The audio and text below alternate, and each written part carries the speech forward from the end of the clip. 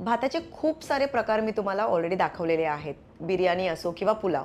पण आज आपण एक वेगळ्या प्रकारचा भात बघणार आहोत ज्याच्यामध्ये मशरूम चिकन आणि खूप सारे फ्लेवर्स घालणार आहोत. दहा मिनटाच्या आत तुम्ही ही रेसिपी तयार करू शकता.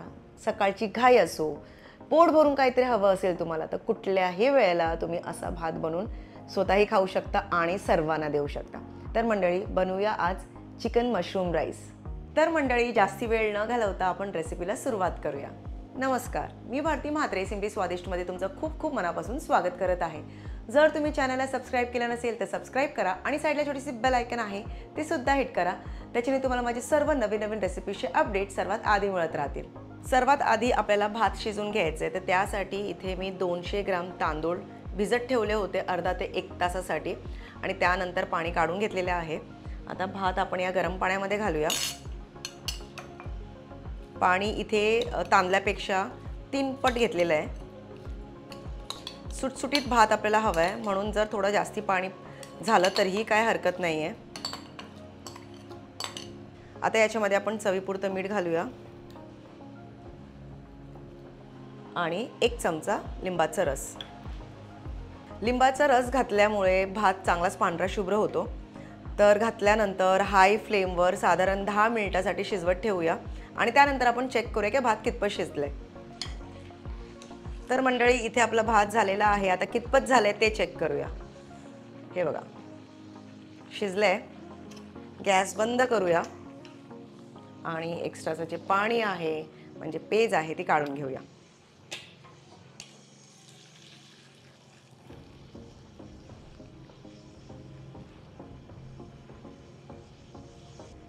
तर असा सुटसुटीत भात आपल्याला हवा आहे तर चला आता आपण नेक्स्ट स्टेप बघूया.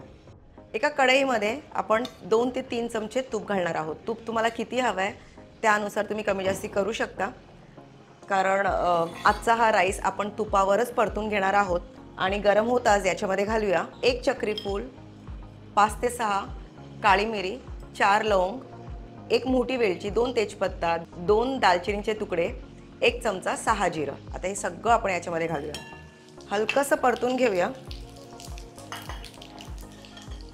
परतून झाल्यानंतर याच्यामध्ये आपल्याला चिकन घालायचं आहे ते इथे मी बघा साधारण एक वाटी भरून म्हणजे एक छोटी वाटी भरून चिकनचे छोटे छोटे तुकडे करून घेतले आहेत फ्लेश घ्यायचे आहे हाडाचं पीस घ्यायचं नाही आहे आता हे आपण घालूया याच्यामध्ये. त्याचसोबत याच्यामध्ये आपण मशरूम घालणार आहोत. तर इथे मी चार ते पाच मशरूम घेतले आहेत आणि या प्रकारे पातळ कापून घेतलं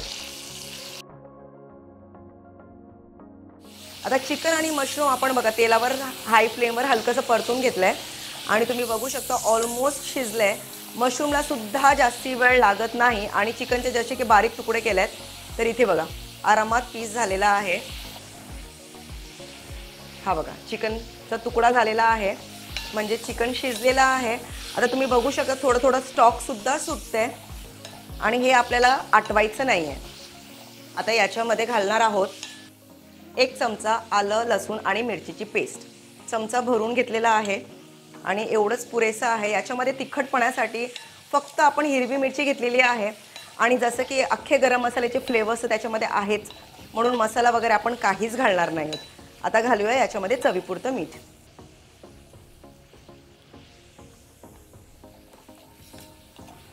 छान फ्लेवर सुटलं आहे खूप सोपी रेसिपी आहे. जेव्हा तुमच्याकडे फक्त मशरूम असेल किंवा चिकनचं थोडं फ्लेश उरलेलं असेल किंवा दोन्हीपैकी एक काहीतरी असेल आणि तुम्हाला नॉनव्हेजची डिश बनवायची असेल तर असं तुम्ही इन्स्टंट भात बनवू शकता. हे बघा मशरूमसुद्धा झालेलं आहे. चिकन तर ऑलरेडी शिजलं होतं. आता फक्त आपल्याला याच्यामध्ये घालायचं आहे भात.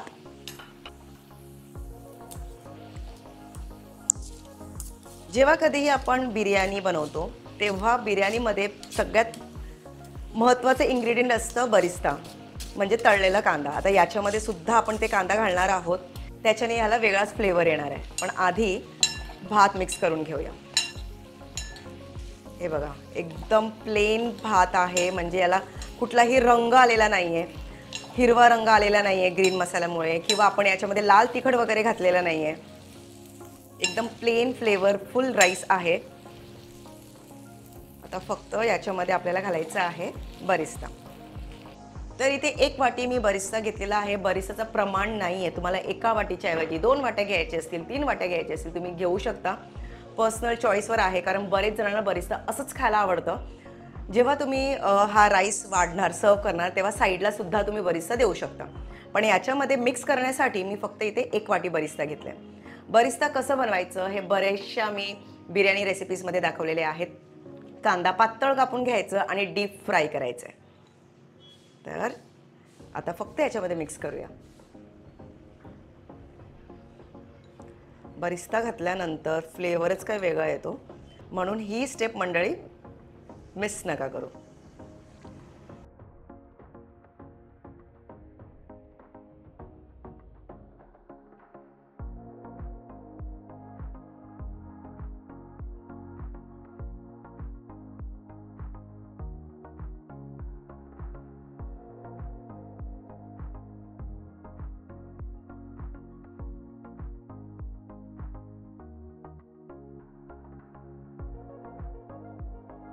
तर मंडळी आय होप तुम्हाला आजचा हा फ्लेवरफुल चिकन मशरूम राईस आवडला असेल. आता बिर्याणी पुलाव आपण नेहमीच खातो पण ह्या प्रकारचा राईस तुम्ही नक्कीच करून बघा. स्वतःही खा आणि सर्वांना खायला द्या. आणि आवडल्यास लाईक शेअर सबस्क्राईब आणि कमेंट करायला बाकी विसरू नका आणि पाहत राहा सिम्पली स्वादिष्ट आजचा हा व्हिडिओ वेळ काढून पाहिल्याबद्दल खूप खूप धन्यवाद आणि भेटूया आपण पुढच्या व्हिडिओमध्ये ठिल देन बाय बाय